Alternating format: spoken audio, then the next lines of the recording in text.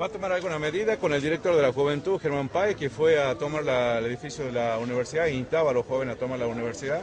No sabía, Daniel, se me estoy enterando de, que, de, de esa situación. Este, de todas formas, hay el titular de la juventud es José, José Ignacio. Eh, Germán es eh, un colaborador eh, de juventud. No tiene un cargo de, de- de encargado de juventud. Él es un colaborador de juventud que está trabajando en lo que es la Secretaría, del- la dirección de la juventud de- del departamento de Chilecito.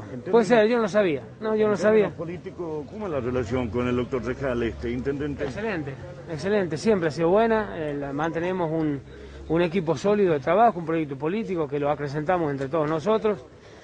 Eh, yo ya me expresé también con el tema de la universidad, no estoy de acuerdo ni con los que estaban antes ni los que están ahora.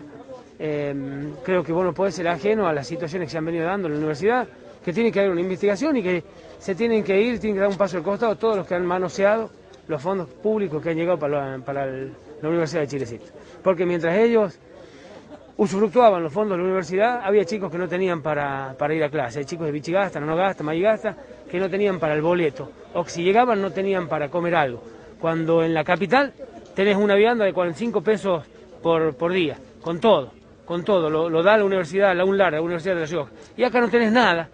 Entonces una universidad que no le sirve a los jóvenes es una universidad que no le sirve a Chilecito. Pero la gente hace mención de que pertenece al sector de ustedes, ¿no? Yo no me Eh, quiero- Al rejalismo, primero del sector suyo, ¿Quién? Germán Páez y Alejandro Guaira, que tomaron el edificio. No, no pertenecen a... Acá hay un, hay un sector político que está conformado, que es el sector de Fernando con nosotros, bueno, Santiago Acelado y Saúl per- pertenecemos al mismo sector. Pero vos, Daniel, no me has hecho nunca meterme en una interna de la universidad, jamás. Yo sí te puedo decir hoy que me parece que se ha manoseado la Universidad de Chilecito y la han manoseado entre todos los que están ahí. Entre todos, para mí todos se tienen que ir y tiene que venir una conducción sana, transparente, que le garantice a nuestra juventud poder llegar a, a estudiar en Chilecito. Con una intervención en su efecto, si, si tienen que ir todos, tiene que haber... eh, Por bueno, supuesto, que se intervenga y que después se llame elecciones como corresponde, como dice el estatuto de la universidad, pero que se intervenga de una buena vez para que se termine con este manoseo que se ha hecho en la Universidad de Chile.